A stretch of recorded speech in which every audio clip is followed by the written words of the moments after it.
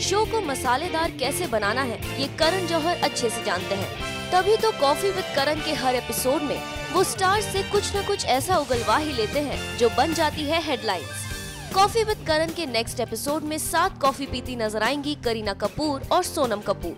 Show का teaser release हो गया है, जिसमें करीना और सोनम बॉलीवुड की बाकी एक्ट्रेस के बारे में खुलकर बात करती हुई दिख रही हैं। अब वो भले दीपिका और प्रियंका के हॉलीवुड फ़िल्मों के बारे में हो या फिर आलिया कटरीना दीपिका प्रियंका को रेट करना हो दोनों इस ट्रेलर में इन एक्ट्रेसेस को करारा जवाब देती हुई दिखाई दे रही हैं। जब करण ने सोनम से पूछा कि वो किसे डेट कर रही हैं, तो सोनम ने शर्माते हुए मगर पूरे एटीट्यूड से कहा कि मैं अपनी पर्सनल लाइफ पर कुछ नहीं कहना चाहती इसके बाद करण ने जब सोनम से कटरीना दीपिका प्रियंका और आलिया को रेट करने के लिए कहा तो सोनम उसी एटीट्यूड से जवाब देती हैं कि वो किसी को रेट नहीं करती, क्योंकि वो अपने आप को रेट करती हैं, और वो बेस्ट हैं।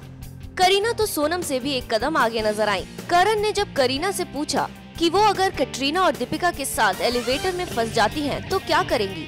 तो इस पर करीना ने जवाब दिया कि वो अपने आप को मार डालेंगी। सोनम और करीना के इन जवाबों से कोई शक नहीं कि कॉफ़ी विद करण का अगला एपिसोड होने वाला है काफ़ी मसालेदार। तो बस आप कीजिए इंतज़ार शो के ऑन एयर होने का।